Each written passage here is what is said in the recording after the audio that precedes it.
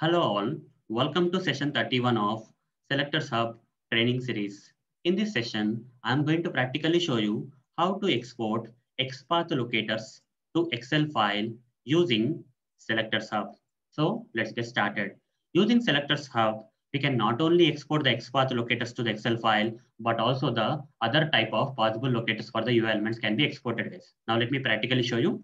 For that, first of all, we will launch the Chrome browser where selector Hub is already installed. Now let's browse a sample application, say omayo.blogspot.com and right click somewhere on this page and select inspect option.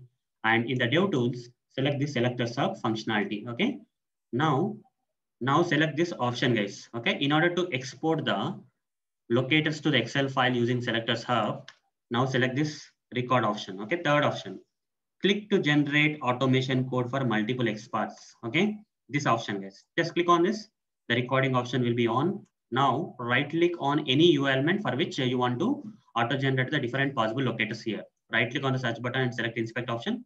You see different possible locators like XPath, CSS selectors, ID, class, okay, tag name got auto generated for the search button.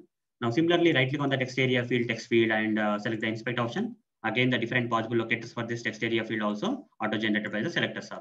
Like that for multiple elements, you will do the same right click inspect. Okay, let's say three elements so far. Now I want to export this, uh, all these locators, all these possible locators for these different UI elements into an Excel file. Okay, how to do that? For that, we have an option here, you see?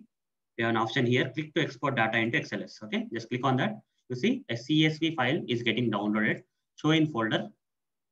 This is a file. Open this file you'll see that all the possible locators, that is XPath, CSS selectors, ID, name, class name, link text, partial link text, okay, all the possible locators for this particular inspected UI elements got auto-generated and exported into an Excel file, as you can see here. So hope guys you understood how to export the different possible locators to the Excel file using Selectors Hub in this session. So that's it guys.